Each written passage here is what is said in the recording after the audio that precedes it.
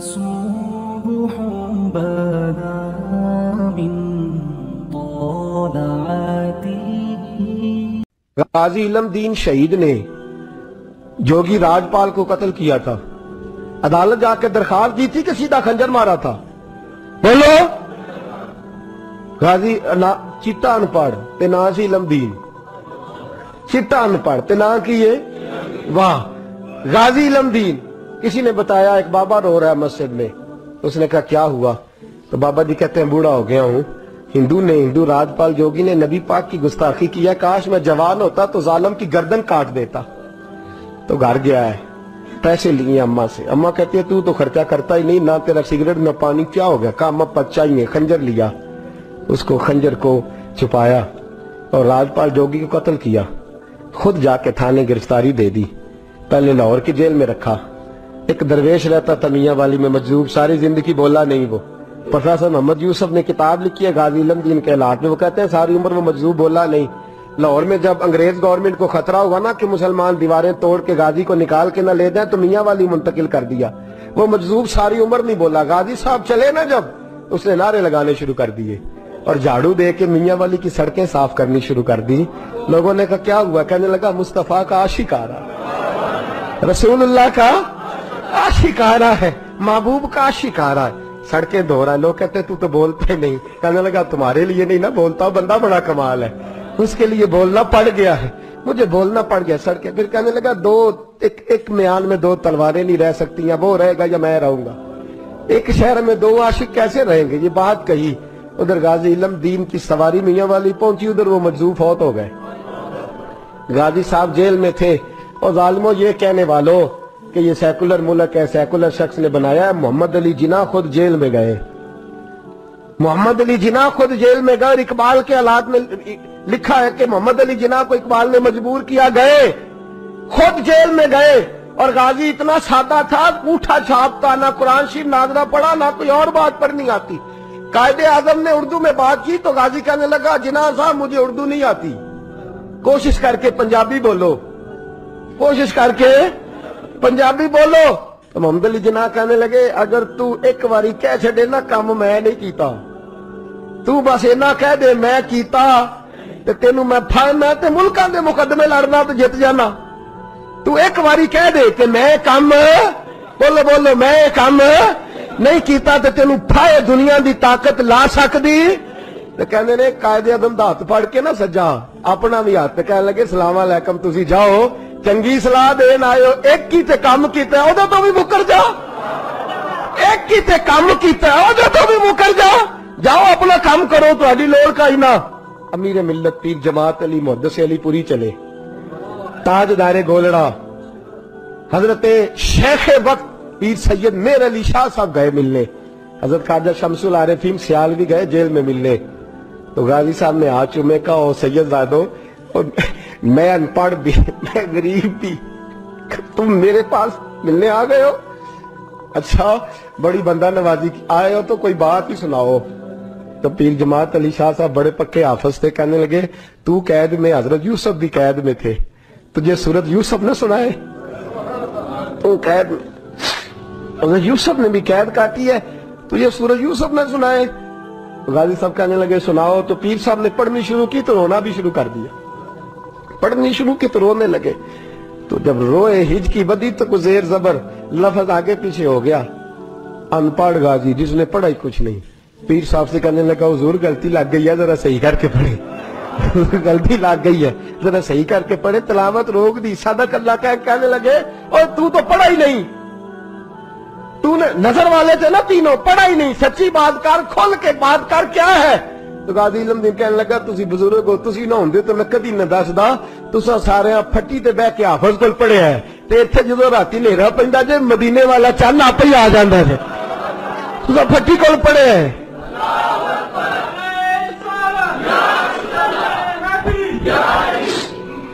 मेरे अजीजों गाजी साहब कहने लगे मैंने तो रसूलुल्लाह से पढ़ा है ना मैंने तो बद्दुआ वाले नबी से बद्दुआ सूरत पढ़ी है मैंने यासीन वाले नबी से सूरत यासीन पढ़ी है। मैंने तो सारा कुछ पढ़ा है ना। गाजी इलमदीन को फांसी लगाई थी अंग्रेज़ ने। शिकवा कोई नहीं था। गाजी अब्दुल कयूम को फांसी लगाई थी अंग्रेज़ ने। शिकवा कोई नहीं था। आमर चीमा को शहीद कर दिया था। उन्होंने, डेनमार्क वालों ने, हमें शिकवा कोई नहीं था। पर हमारा दर्द बढ़ता जा रहा है। इस शख्स को अपनों ने मार डाला। अपनों ने मार डाला तीर खा के जो देखा कमी गाह की तरफ़ तो अपने ही दोस्तों से मुलाकात हो गई। अपनों ने मार डाला, अपनों ने जुल्म किया गाजी इलमदीन का जनाजा उठा तो लोग कहते, हमने देखा कि नब्बे नब्बे साल के बूढ़े पीर भी नंगे पैर चल रहे नंगे पैर। और मिन्नतें कर रहे हैं, जरा हमें मौका दे दो, इसकी जनाजे को कंधा तो दे दे। जरा मौका दे दो, जनाजे को कंधा तो दे दे। कहते हैं, जनाजा पढ़ के तो लामा इकबाल ने दुड़की लगा दी। डॉक्टर इकबाल ने दौड़ना शुरू कर इकबाल दौड़ते दौड़ते दौड़ते दौड़ते, जनाजा पढ़ते ही कब्र में पहुँचे। गाजी इलम दीन की तो लोगों ने कहा, इकबाल, बूढ़ा आदमी है गिर जाए कहने लगा, चुप करो। बाकी साजते सबको मिल गई हैं, इसको दफन मैंने करना है। इसकी कब्र में मैं पहले उतरूँगा। इकबाल ने रखा ना जब हाथ पे तो इकबाल की चीख निकली तो रो के कहने लगा इलम दीन और तू नंबर ले गया तो मैं शेर ही लिखता रह गया। तू तो नंबर ले गया तो मैं शेर ही लिखता रह, मेरे अजीजो ये नामूस रिसालत के पहरेदार। और याद रखो, बंदे अगर ये ड्यूटी नहीं करेंगे तो ना करें। रब खुद पहरेदार है अपने नबी की इज़्ज़त अल्लाह खुद मुहाफज है अपने नबी की। यहाँ लोगों की मसलते हैं मसलते हैं। लोग सोच समझ के चलते, सोच समझ के बोलते हैं। रहना तो यहाँ कई सदियाँ हैं, मरना तो नहीं? इसलिए जरा फूक फूक के कदम रखते हैं और सोच समझ के चला करो दुनिया के लिए। महबूब से मोहब्बत। नबी पाक सल्लल्लाहु अलैहि वसल्लम की हदीस है मुस्लिम में तबरानी में। हुजूर ने फरमाया, आओ, मैं तुम्हें पिछले जमाने के एक ईमानदार, नौखेज वली अल्लाह की बात सुनाऊं। पिछले जमाने। हुजूर ने फरमाया, पिछले जमाने में एक बादशाह जादू के ज़ोर पे हुकूमत करता था। जब वो एक जादूगर उसने रखा हुआ था तो जादूगर उसको जादू बताता। वो जादू के ज़ोर पर हुकूमत करता। जादूगर बूढ़ा हो गया तो कहने लगा, बादशाह कोई नौजवान मेरे पास भेज दे, अब मैं बूढ़ा हो गया हूँ, मेरा पता कोई नहीं, कब मर जाऊँ। एक नौजवान की ड्यूटी लगाई। बड़ा जीरक, समझदार, अपने रियाया में से चुन के जो जहीन फितरत मिजाज बच्चा था, वो उसने लगाया। अल्लाह के महबूब सलाम फरमाते हैं, बच्चा जादू सीखने लगा, वक्त गुजरने लगा। बच्चा जब जादू सीखने जाता तो रस्ते में कराहब भी था जो इंजील जानता था।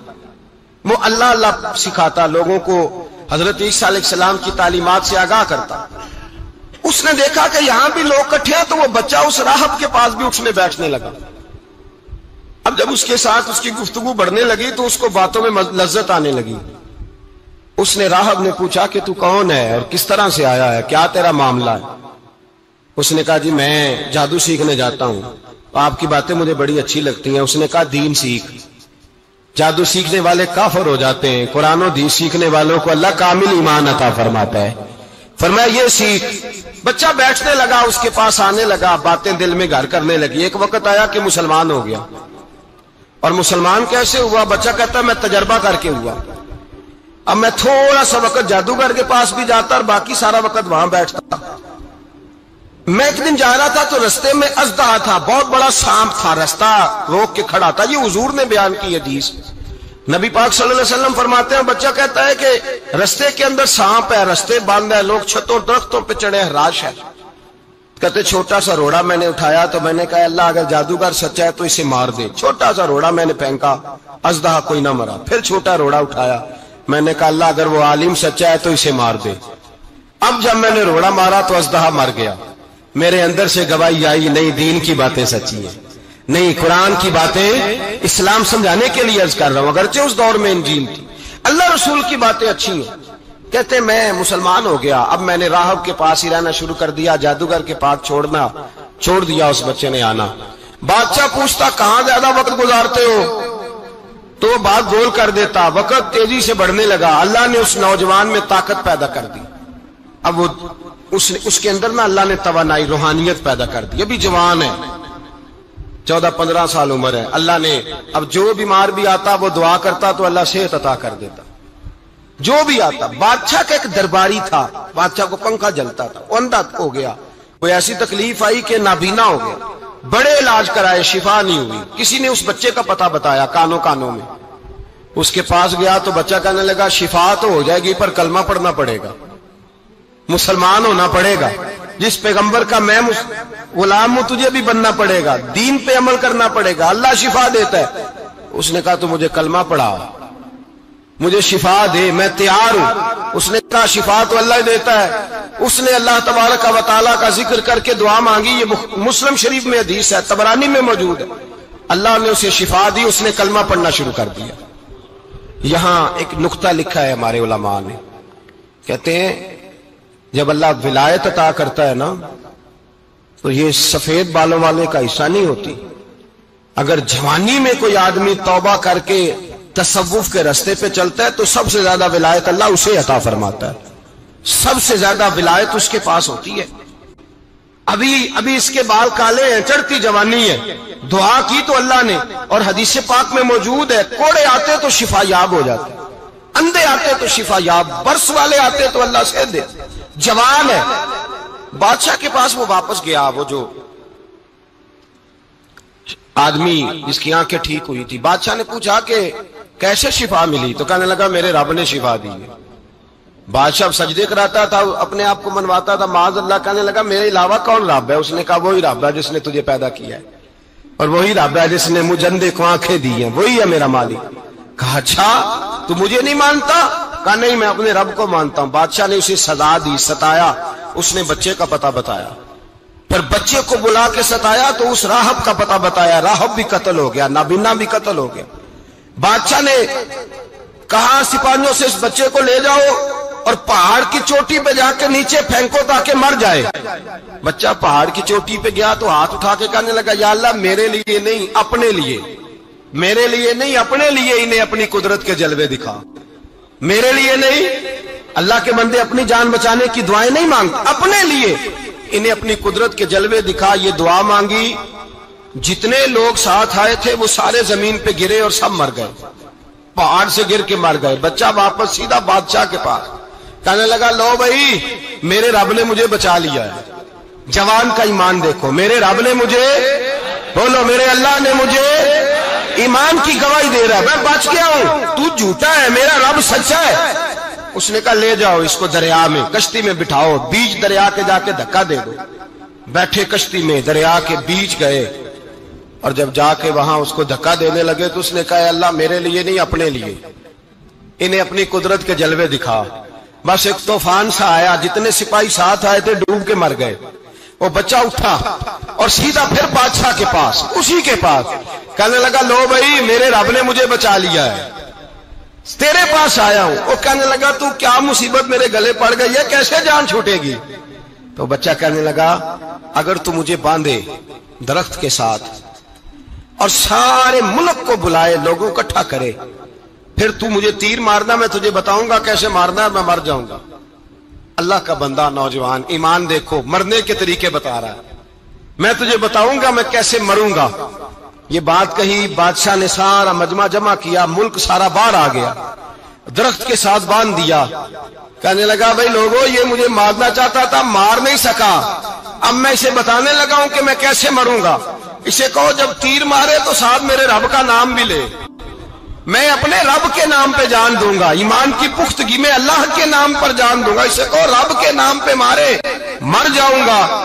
बादशाह ने अल्लाह कह के तीर मारा। पेशानी में लगा। बच्चे की रूह परवाज कर गई, जितना मजमा खड़ा था, सारा कलमा पढ़ के मुसलमान हो गया सारे मुसलमान हो गए। सारे।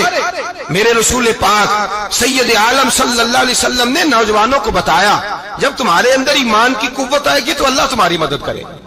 फरमाया, वो नौखेज वली था, अभी जवान राना था। अभी उसकी पेशानी पर जवानी के आसार थे। लेकिन उसने अल्लाह को राज़ी किया, रब करीम को राज़ी। विलायत का मतलब बुढ़ापा नहीं।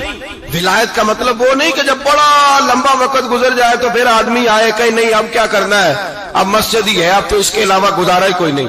तो उस वक्त का आना अल्लाह की बारगाह में कबूल तो है, लेकिन शाबाशी उसी को मिलती है जो जवानी का वक्त आए, जो एन उस वक्त आए जो वक्त मेरे रसूल पाक अलैहिस्सलाम के गुलाम है अब्दुल्ला इबन उमर, हज़रत अब्दुल्ला इबन उमर रज़ी अल्लाह तु फरमाते हैं कि मैं निकला, मुझे सफ़र के लिए जाना था तो थोड़ी सी खजूरें, थोड़ा सा सिरका। एक शहद की बोतल चीज़ें मैंने सफ़र के लिए साथ रख ली। मैं जब मदीने से बाहर सहरा में निकला ना तो रमज़ान नहीं था गहरे रमज़ान था। मैंने एक नौजवान को देखा, बकरियाँ चरा रहा। बकरियाँ चरा रहा। है जवान, आप फरमाते हैं उसका चेहरा बड़ा नौरानियत वाला, गर्द पड़ी हुई पर बड़ा हसीन। फरमाते मैंने उसको कहा कि आ जाओ, खाना खा लो। रोज़े भी नहीं थे। कहने लगा, नहीं, मैंने रोजा रखा हुआ है।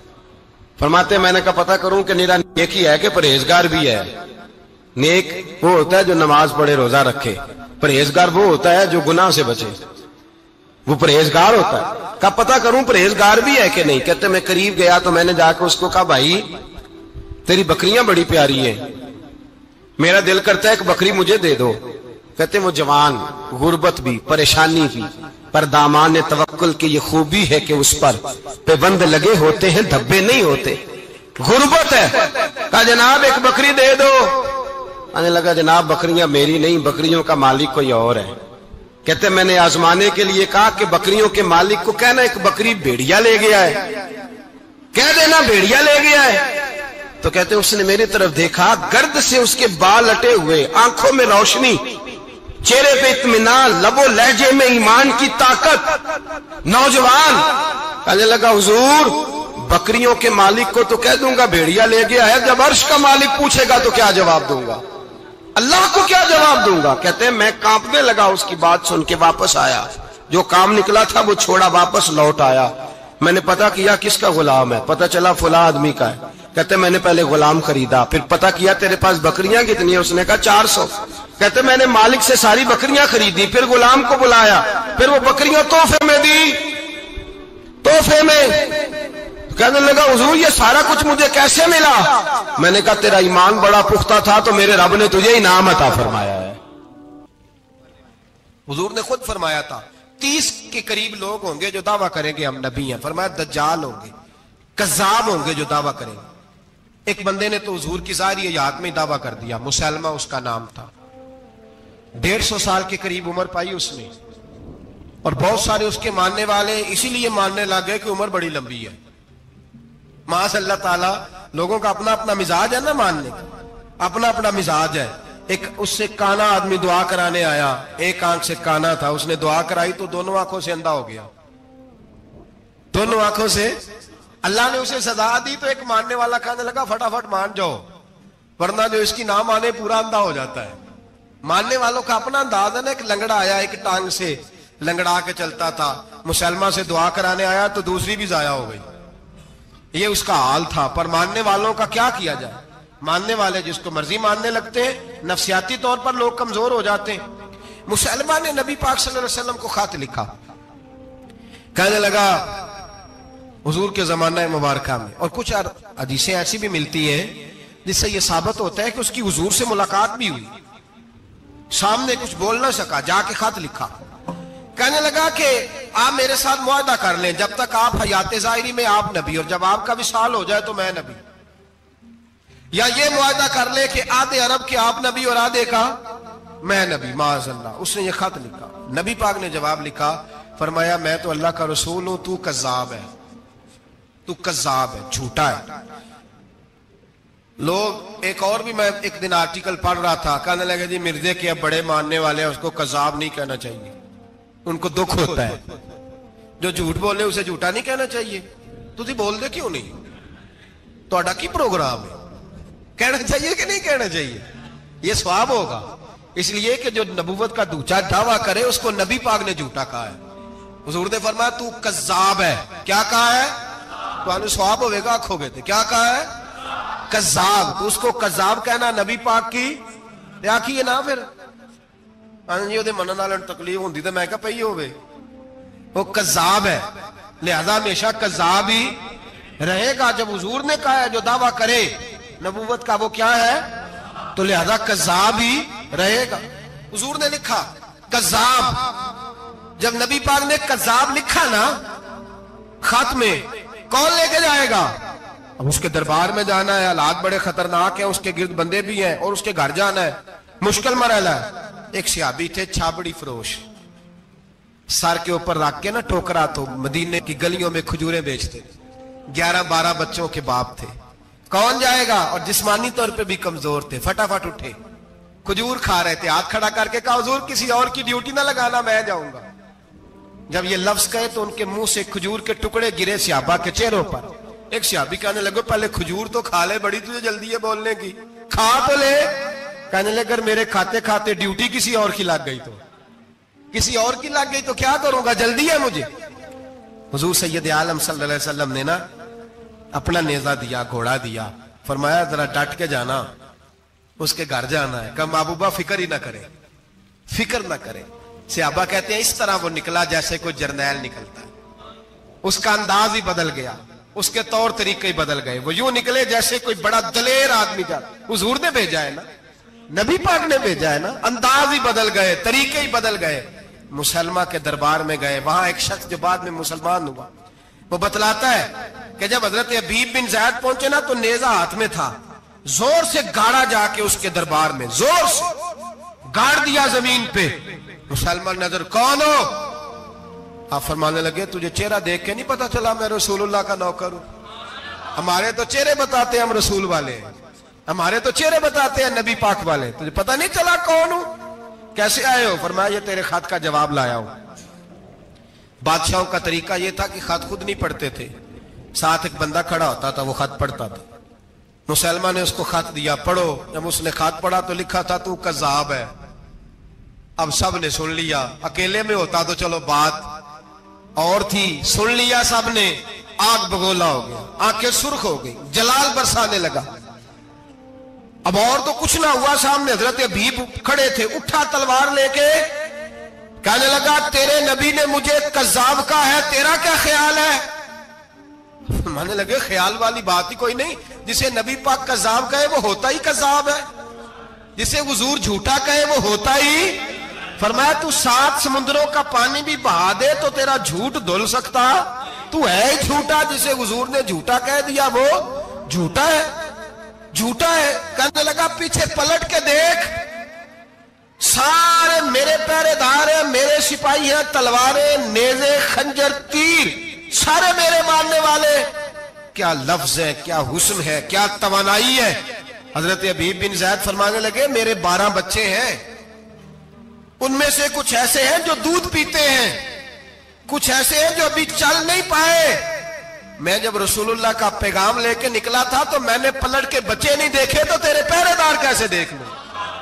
जो चीज़ मजबूर करती है, बाँध लेती है, वो नहीं जब मैंने देखी तो मैं तू तेरे पहरेदार देखो? जो जी में आता है, कर। गुलामा ने मोहम्मद जान देने से नहीं डरते।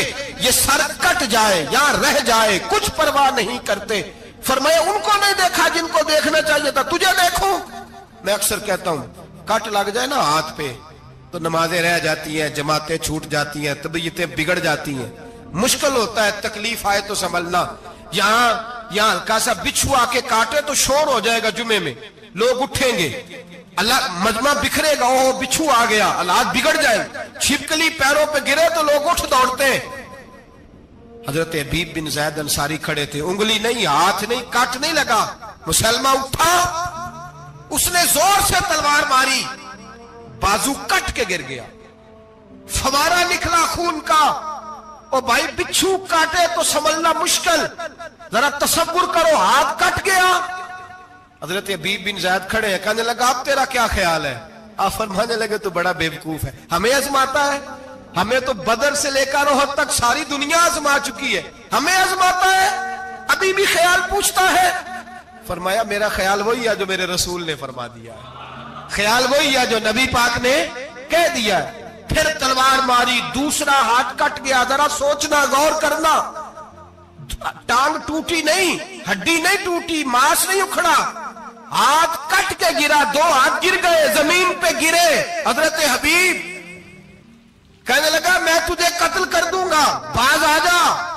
आप फरमाने लगे, तू बड़ा नादान है। उन लोगों को डराता है जो सवेरे फजर की नमाज़ पढ़ के पहली दुआ ही शहादत की मांगते हैं।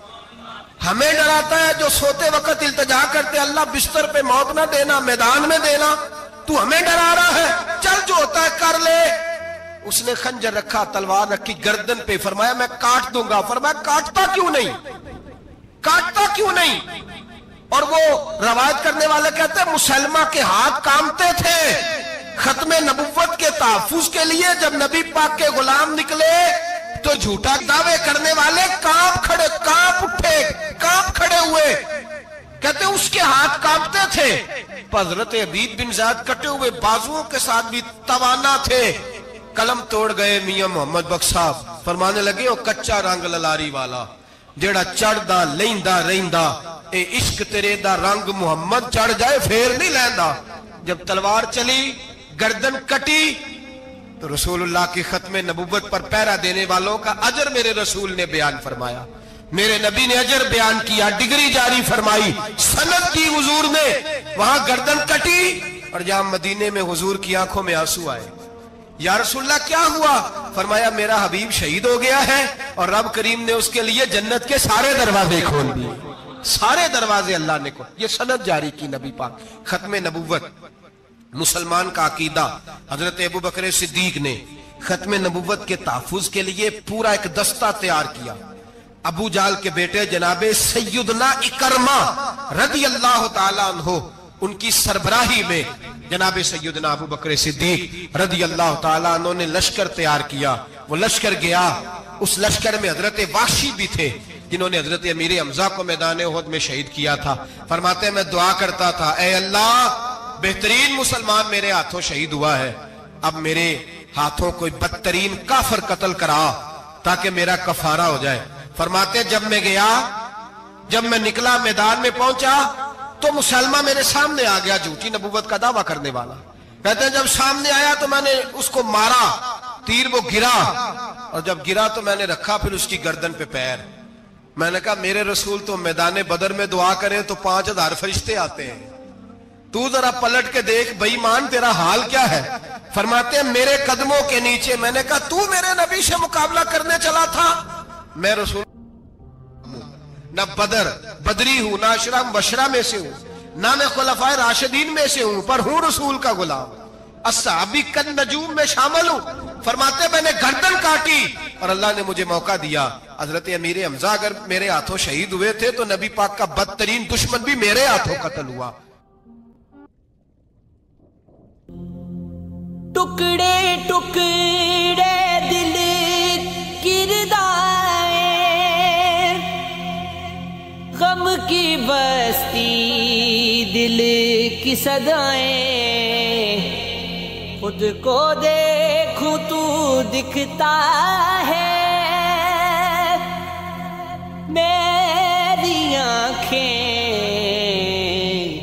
एक नौजवान था, बारह चौदह साल का, यहूदियों का बच्चा था, बुखारी जो अक्सर हुजूर के पास आया करता। छोटे मोटे काम नबी पाक के कर देता। और कुछ भी ना होता तो आके बैठा रहता, हुजूर का चेहरा ही देखता रहता। नबी करीम का चेहरा ही देखता रहता, खुश रहता, हुजूर की जियारत ही करता रहता। दो तीन दिन वो आया नहीं। बुखारी में मौजूद है। हुजूर ने फरमाया मालूम करो, क्यों नहीं आया? सियाबा नर्स की हुजूर, बीमार हो गया। बीमार हो गया। इमाम जुरकानी ने लिखा है, फरमाते वो भी अपने घर में ना रोज दरवाज़ा देखता रहता, रोज दरवाज़ा देखता रहता। उसकी माँ कहने लगी, बेटा, जिनका तू इंतज़ार कर रहा है, वो मुश्किल से आए। हमारा ना मज़हब का रिश्ता है, ना किसी और का। कैसे आए?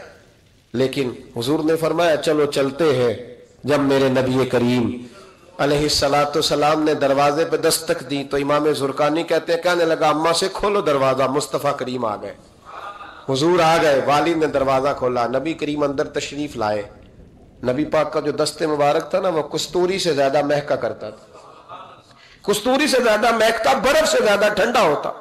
कहते नबी पाक उसके पास गए तो अंदर दाखिल हुए तो रोने लगा। हजूर ना सराने वाली साइड पे बैठ गए, उसका सर उठा के गोद में रखा। और जब उसके बालों में हुजूर ने दस्ते मुबारक फेरा तो उसकी माँ और बाप की आँखों में भी आँसू आ गए। ये अंदाजे करम गरीबों के साथ, हम गरीबों के साथ। वो एक हिंदू शायर था तो वो हुजूर की नाते लिखता था। तो कुछ मुसलमान भी बड़े डाडे होते हैं ना, उसको जाकर लगे, नाते तो बड़ी लिखता है, कलमा क्यों नहीं पढ़ता? कलमा भी पढ़ना। तो उसने कहा, चल, इस पे भी शेर सुन ले। इस पे भी तू शेर ही सुन ले, को मैं तेरा पाबंद तो नहीं। कहने लगा, हो जाए, इश्क किसी से, कोई चारा तो नहीं। सिर्फ़ मुस्लिम का मोहम्मद पे अजारा तो नहीं। सिर्फ़ मुस्लिम का मोहम्मद पे अजारा तो नहीं। इतना डांडा ना हो यार, मेरे साथ ये रवैया न कर, हो गया प्यार। ये हो जाया करता है। अब तू इस तरह तो ना कर मेरे साथ। हुजूर ने जब फेरा ना बालों में हाथ तो माँ बाप रोने लगे। उसने भी आँखें खोली, मेरे रसूल पाक। सैयद आलम सल्लल्लाहु अलैहि वसल्लम ने ना उस बच्चे का चेहरा देखा। हुजूर समझ गए, वक्त थोड़ा रह गया। तब हुजूर ने उसके साथ वही किया। जिससे उसकी आखरत संवर जाए। वो किया जो दर्द था मेरे नबी पाक, जो शौक रखते थे हुजूर सब के लिए, जो सब के लिए शौक रखते थे। मेरे महबूब फरमाने लगे, बेटे, कलमा पढ़ ले। कलमा, हुजूर का शौक यही है। यही शौक है, लोग दीनदार बन जाए। कारोबार चमक जाए जी, मुर्शद के पास गया तो रेल पेल हो गई। ये शौक ही नहीं नबी पाक का। हुजूर का तो शौक है कि सजदे का शौक हो जाए, इबादत का शौक बन जाए। नबी करीम अलैहिस्सलाम ने फरमाया, बेटे कलमा पढ़ो। उस बच्चे ने अपने माँ बाप की तरफ़ देखा। बाप रो पड़ा, कहने लगा, बेटा, आज साबित हुआ है कि मैं नहीं तुझसे इतना प्यार करता जितना मुस्तफ़ा करते हैं। तू मेरी तरफ़ ना देख, तू पढ़ ले कलमा। कलमा पढ़। उस बच्चे ने कलमा अभी पूरा पढ़ा ही था कि उसकी रूह परवाज कर गई। मुसलमान होते ही अल्लाह की बारगाह में हाजिर हो गया। नबी करीम सल्लल्लाहु अलैहि वसल्लम निकले, आँखों में आँसू थे, लबों से मुस्कुरा रहे थे। और हुजूर फरमाने लगे, अल्लाह का शुक्र है जिसने मेरी वजह से इसे जहन्नुम से आज़ाद कर दिया। कि दोजक से बच गया, ये शुक्र है। शुक्र इस बात का करो कि कोई हमारी वजह से दोजक से बच दोजक से बच बाकी तो सारे काम चलते हैं, दुनियादारी तो होती है। कोई बंदा जहन्नम वाली सड़क पे ना, एक बात और सुने और इसको ना अपने दिल में जगा दे। नबी पाक सलाम की जो ख्वाहिश थी ना, हमेशा से, वो ये थी कि लोग संवरे। लोग दीन पर अमल करें। एक गिरोह था सियाबा को, उनको फरमाया कि फलां जगह जिहाद के लिए जाना है तो जुमा वहाँ जाके पढ़ना। ये लोग जो मुफ़्त के लाडले नहीं बन जाते, फ्री के। नहीं जी, नहीं, मेरा इश्क नहीं इजाज़त दे रहा। भाई तू, तेरा किस तरह का इश्क है? तू बात मान। कि ना मानना इश्क है। जी, मैं लाडला होता हूँ। ये किस तरह का लाडला? लाडला तो वो होता है जो ताबेदार होता है, जो अबरू का इशारा समझता नबी करीम ने फरमाया, सियाबा से फरमाया जुमा वहाँ जाके पढ़ना। बहुत सारे लोग चले गए तो चंद लोग रह गए। जुमे की नमाज़ के बाद हजूर ने पूछा, गए नहीं? अर्ज़ की हजूर दिल में ख्वाहिश आई थी कि इतना बड़ा जुमा कैसे मिलेगा? बरकत वाला। तो यहाँ जुमा पढ़ के ही चलते हैं, ताकि हमें इतने हमारे नसीब खुल जाए कि हुजूर के पीछे जुमे की तोफीक हो जाए। हुजूर प्यार बड़ा था, आपकी इकतदा में जुमा पढ़ना था। पता लफ्ज क्या है हदीस के? हुजूर फरमाने लगे, अगर तुम मेरी बात मान के वहाँ जाके जुमा पढ़ते हो तो मुझे ज़्यादा खुशी होती।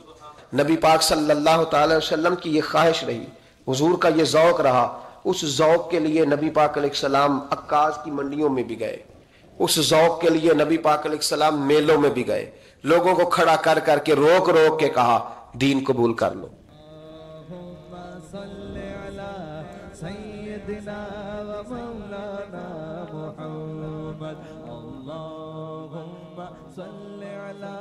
सैयदना व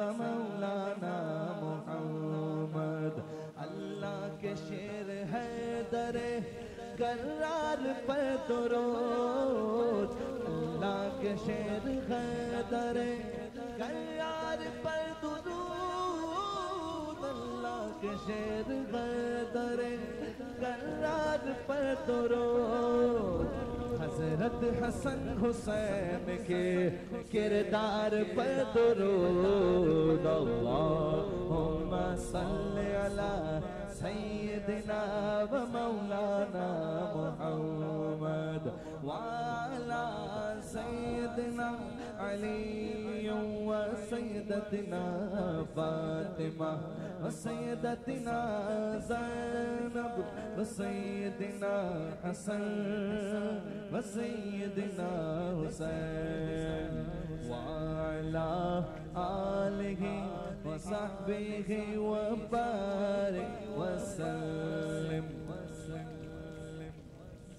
जैनब की बारगाह में